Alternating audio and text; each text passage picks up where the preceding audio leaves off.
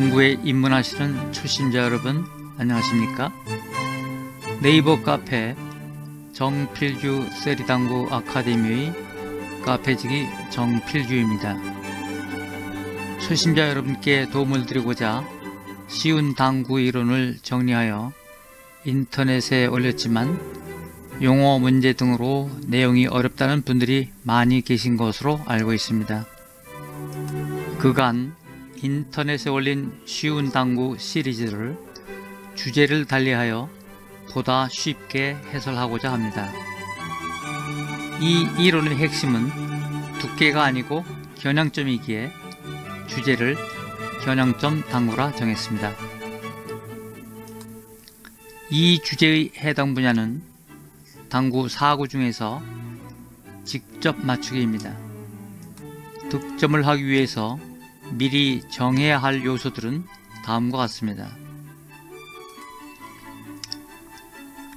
우선 Q선이 제1적구의 어느 곳을 통과해야 할지 겨냥점을 찾고 다음에 수구의 당점에서는 상하 당점과 팁수를 정해야 할 것입니다. 겨냥점이란 제1적구에 있는 한 점이고 그 점은 제2적구와 가장 가까운 곳입니다. 그리고 Q선이 통과하는 지점이 되겠죠. 이 그림에서 겨냥점은 이곳의 연두색 지점이 됩니다. 수구로 제1적구를 맞추고 이어서 제2적구를 맞출 때 겨냥점은 두 공을 이은 선과 이 공의 평면으로 봤을 때 적도, 적도와 교차하는 이 점이 됩니다. 이 점은 이 공과 가장 가까운 곳이죠. 이 공을 선을 따라서 갖다 붙여보면 이 점에서 접촉할 것입니다.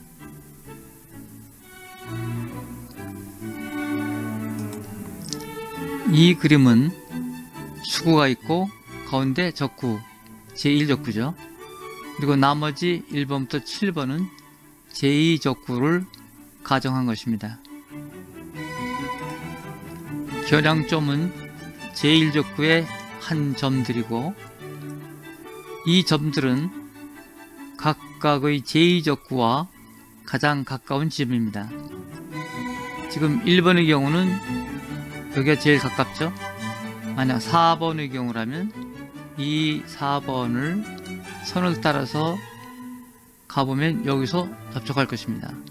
자, 6번이라면 이 점이 되겠죠? 두 공을 연결한 이 선과 이 제1적구의 적도와의 교차점 볼록 나온 적도에서 서로 접촉이 될 것입니다. 그 점이 바로 겨냥점이라고 보시면 되겠습니다.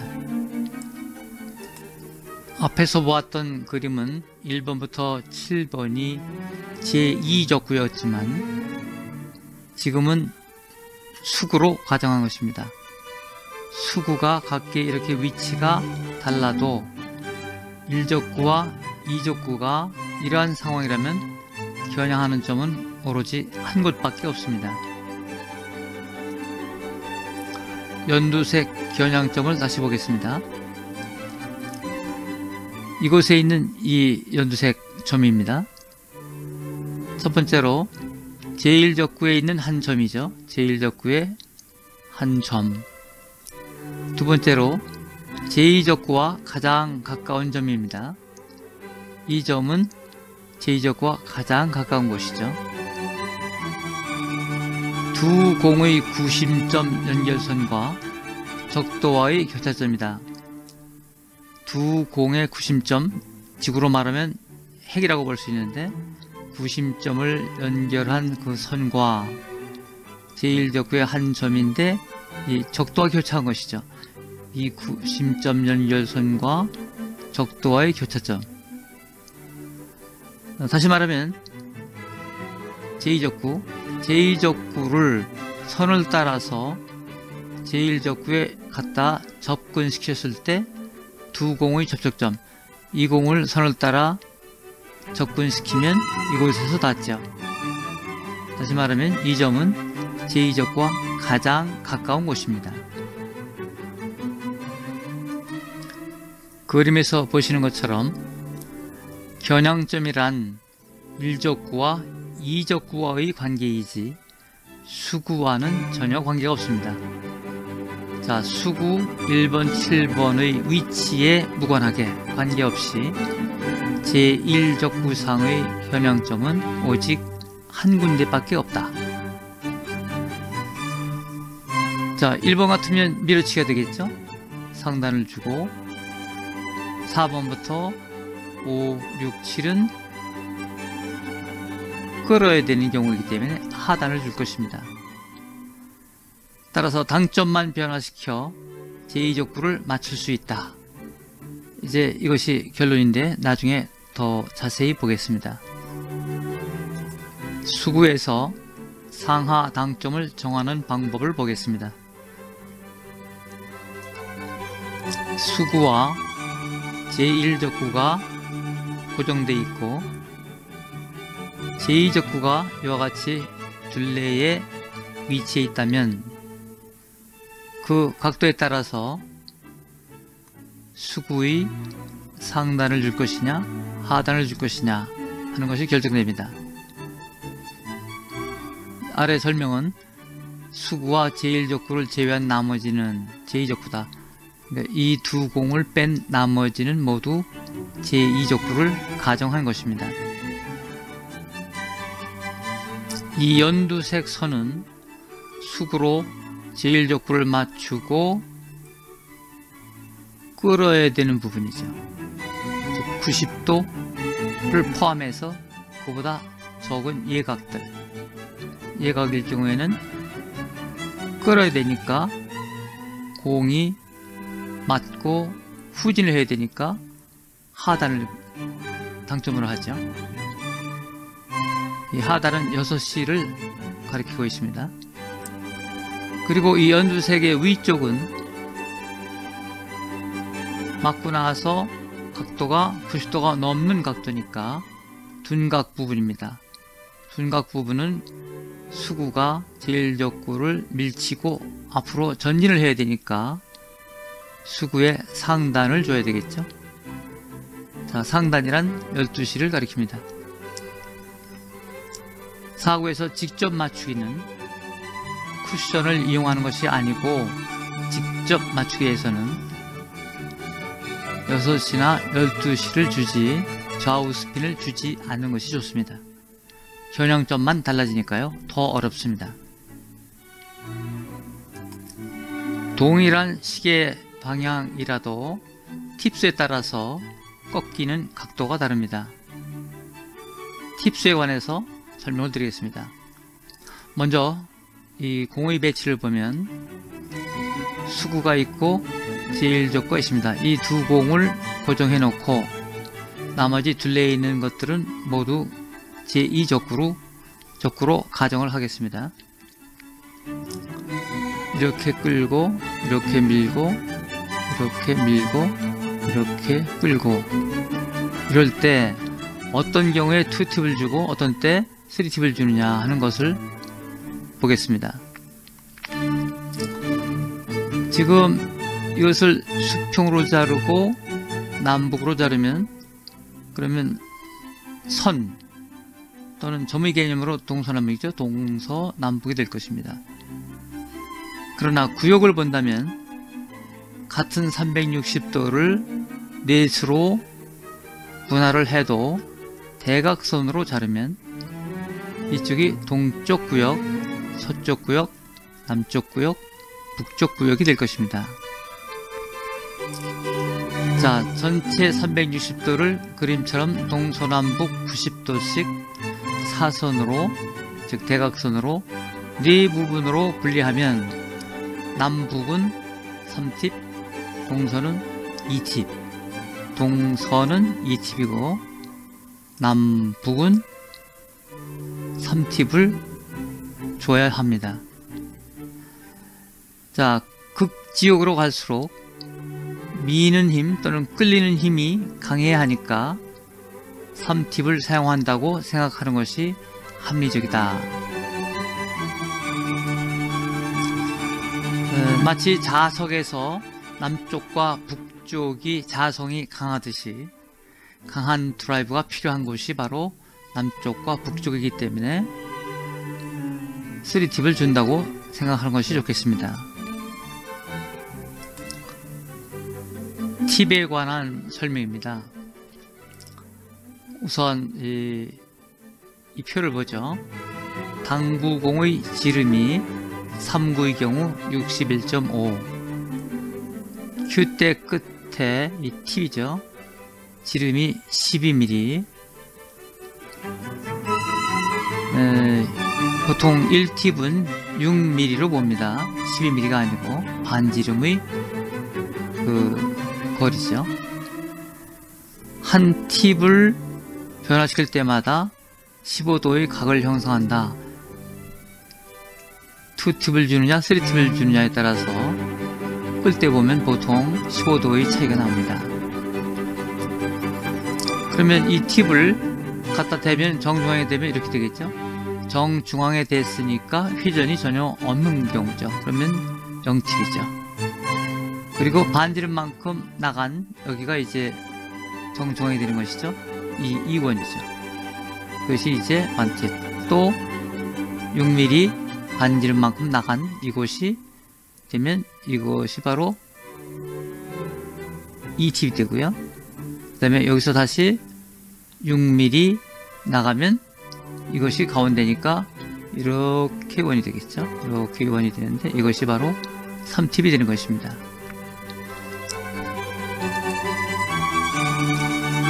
만일 1팁을 6mm가 아니고 12로 했다면 3팁이면 36mm가 되죠. 그러니까 반지름을 따져서 이 반지름이 30.75입니다. 네, 3팁을 주면 36mm니까 허공을 찌르게 되죠. 이렇게 되면 아마 0.5팁, 1.5팁 이렇게 소수점을 붙여야 될 것입니다. 이 소수점을 없애기 위해서는 반지름을 1팁으로 해야만 필요하게 되죠. 사구에서 직접 맞추기 위해서 우리가 사용하게 되는 당점은 다음과 같습니다. 밀어치기의 경우 상향 당점 이것이 0팁, 1팁, 2팁, 3팁 자, 끌어치기 경우에는 0팁, 1팁, 2팁, 3팁이 되겠죠. 직접 맞추기 위해서는 좌우 수피는 주지 않는 것이 더 정확합니다. 지금까지 배운 당점을 종합해 보겠습니다.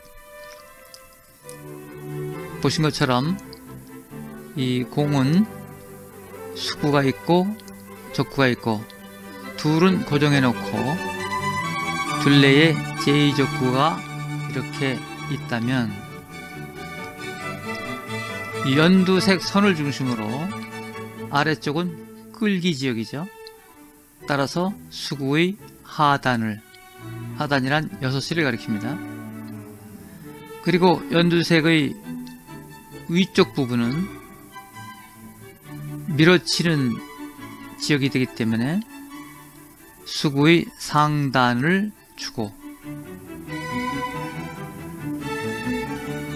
팁스는 동서남북을 선이나 점으로 보지 않고 면적으로 보기 위해선 동서남북을 이렇게 대각선으로 자르면 동쪽, 서쪽, 남쪽, 북쪽 구역이 되죠.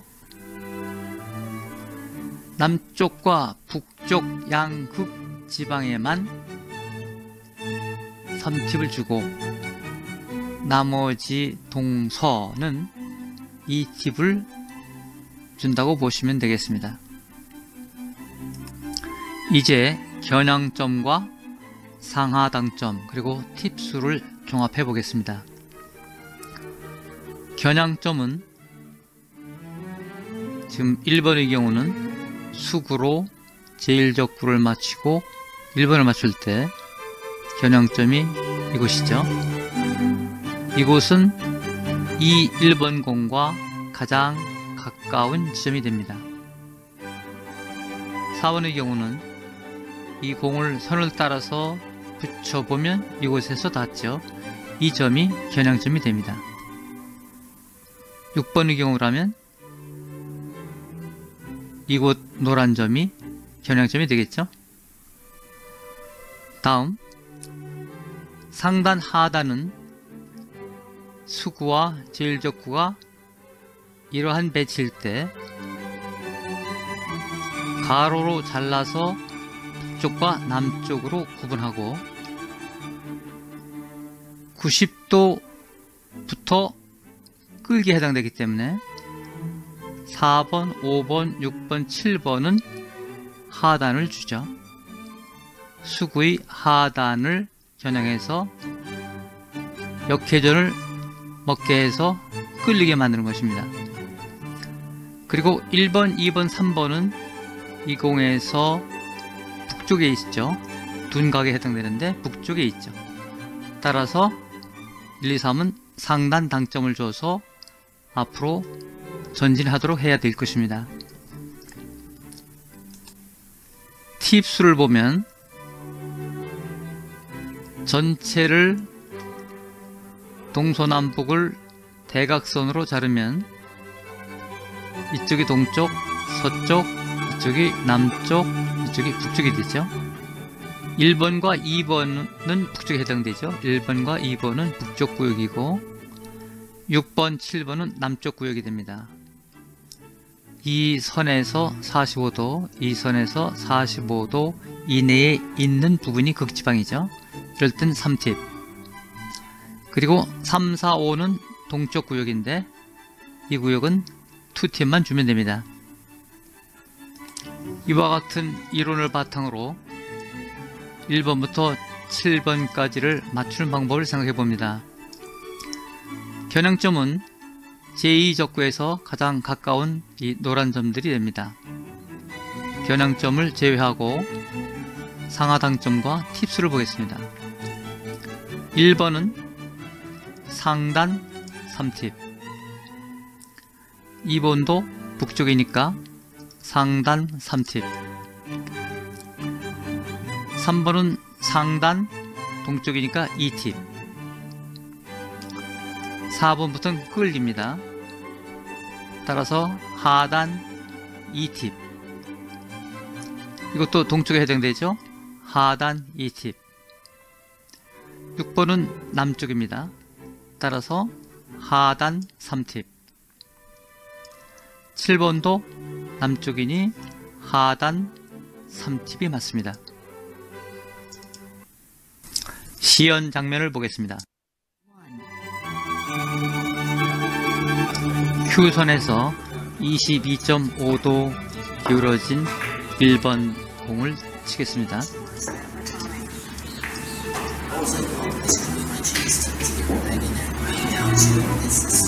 겨냥점은 제2적구에서 가장 가까운 곳입니다.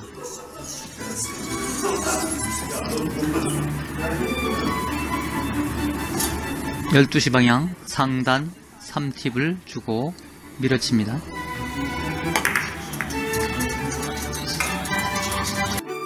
Two.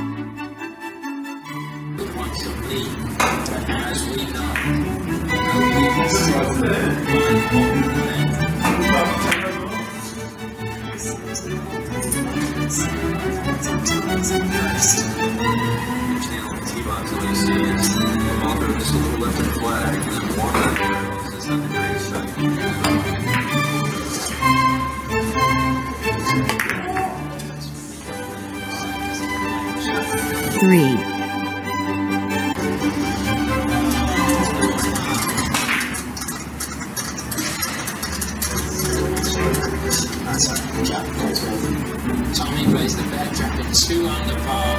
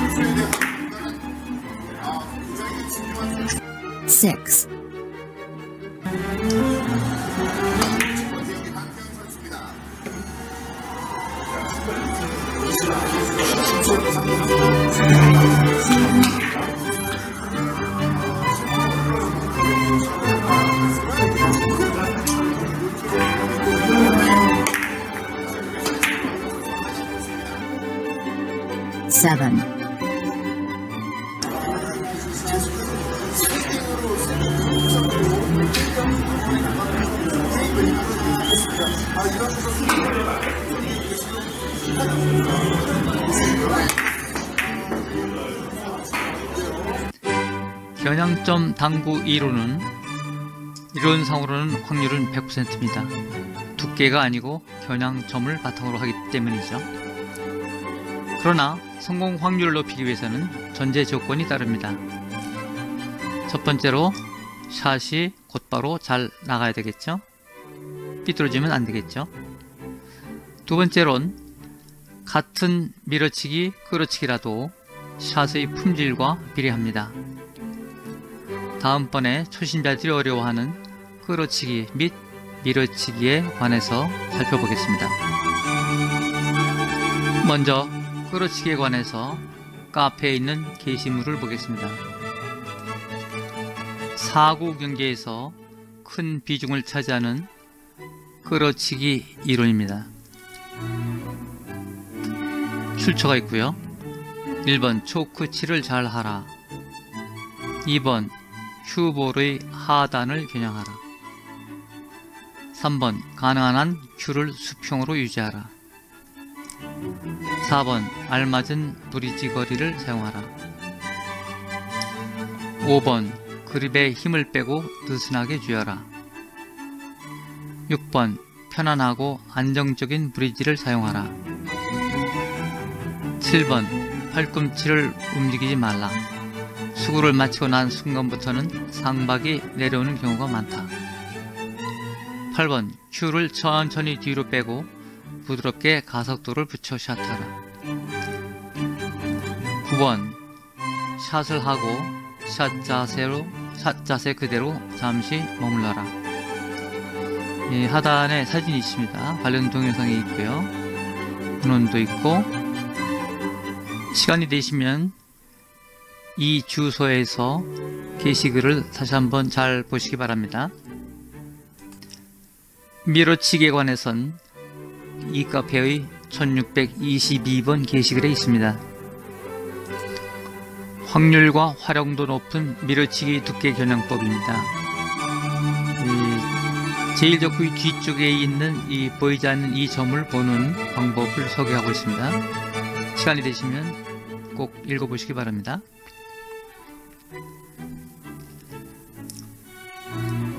실제 동영상을 보죠. 자, 짧은 거리 밀어치기.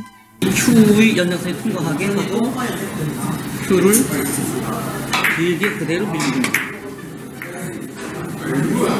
이번에는 원거리 밀어치기입니다.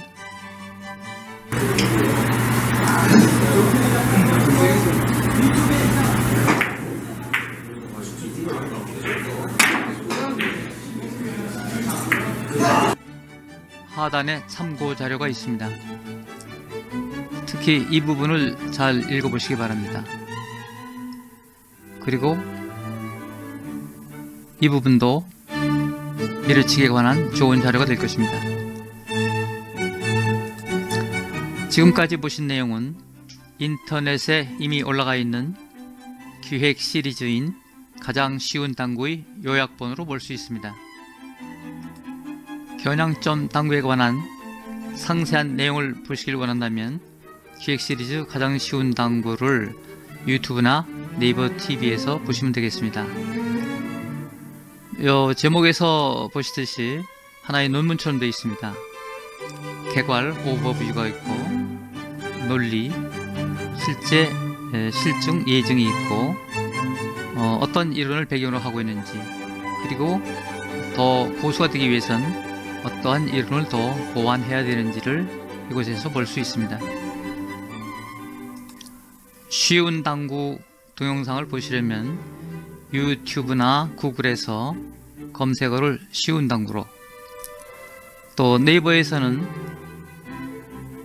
검색어를 기획 시리즈 쉬운 당구로 치시면 쉽게 접근할 수 있습니다. 어, 넘버 1부터 넘버 5까지 순서대로 되어 있으니까 꼭 순서대로 보시기 바랍니다. 쉬운 당구에 대한 기획 시리즈를 네이버에서 검색해 보겠습니다. 기획 시리즈 쉬운 당구라고 치고 검색을 하면 하단에 동영상이 나옵니다.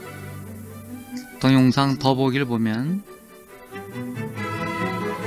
네이버 TV 그리고 유튜브에 관련된 동영상이 10건이 검색됩니다. 구글에서 검색해 보겠습니다.